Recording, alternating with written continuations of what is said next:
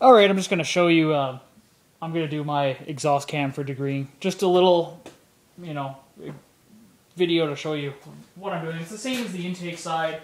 You want to set your your um, what do you call it? Your dial indicator as flat down as possible on your bucket in this case um, for the KA engine. This this setup on the KA engine is a cam over bucket. That means the cam pushes directly down on the valve to open or you know to close when the cam comes the opposite direction. Um, I've already done a video for the intake. Now I'm going to zero my gauge out because I preloaded it a little bit sitting on the exhaust side. It doesn't look like it's going to hit the cam lobe itself when I turn it over now. And this is now just after the compression stroke. Now, zero it out again. Now, the industry standard is, is uh, 0.05 inch. And I'm turning over real slow right now. It's 045, 046, 047, 048, 049, 05, 05. Close enough. Um, and it looks like before bottom dead center. 30, 28 degrees before bottom dead center. So going on my paper here, exhaust opens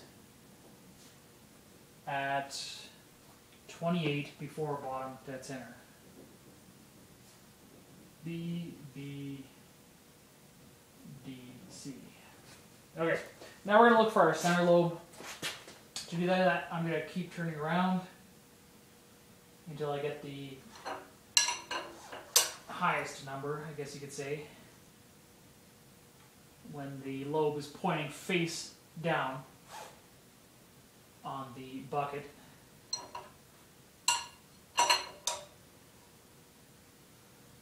Ah, gnarly. Okay, here we go. Going really slow right now because I can see it's almost pointing straight down.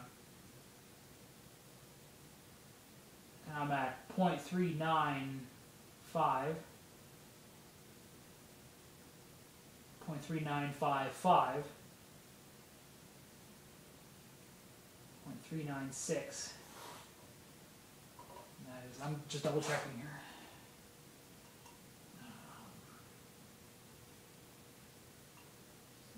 76. I'm just going to write a 76. Doesn't mean anything yet, but I'm going to go real slow.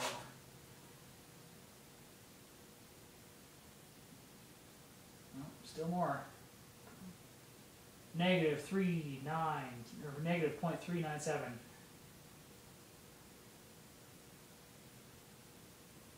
I think this is it right there. Oh, 398. Okay. Three ninety five.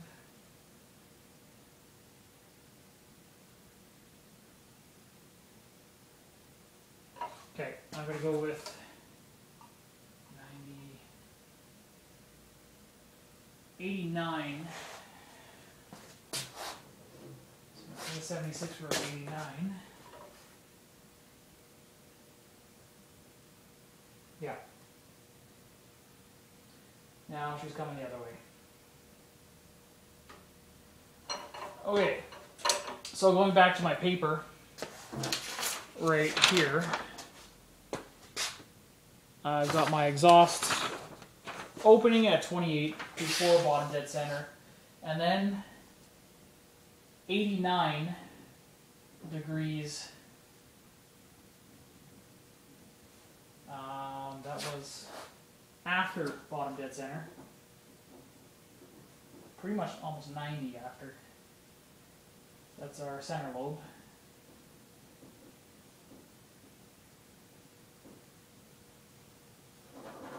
Just spell.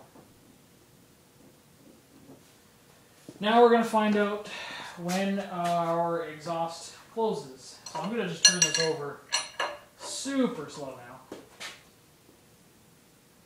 It should be almost there. And we're looking for a 0.05 again once we come up on this other side here.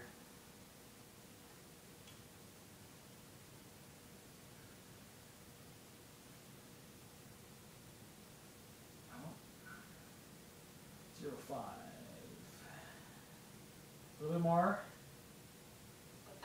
Right there. Perfect.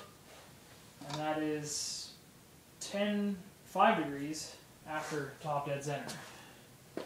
Actually, I'm going to say 4. Because I'm actually showing, uh, yeah. I'm going to go 4 degrees after top dead center.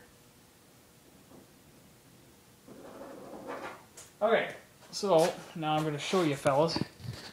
By the way, I shaved my head last night just because I'm getting old and whatnot. But anyways, here I'm going to switch it around here for you.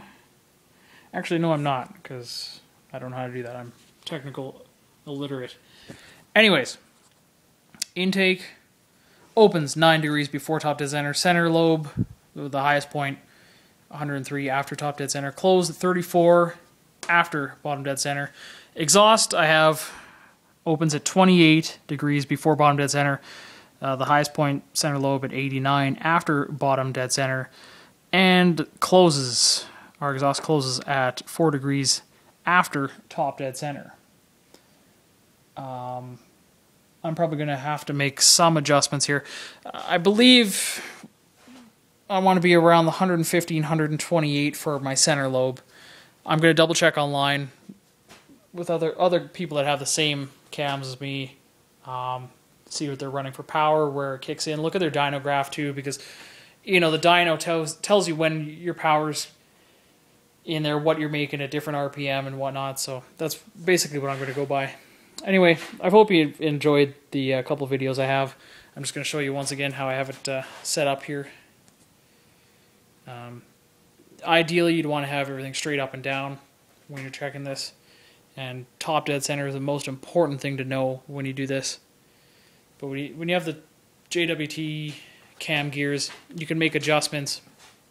I think it's every dot is two and a half degrees. So what you do is you loosen this off not necessarily all the way off but just get it so you can pull the uh, um, the gear itself off. Then you can wrench your cam to wherever you need put it back on, and uh, you know that you've advanced it, you know, two and a half degrees, ten degrees at most, whatever, and you, and you could do your basic math with your numbers that you already have.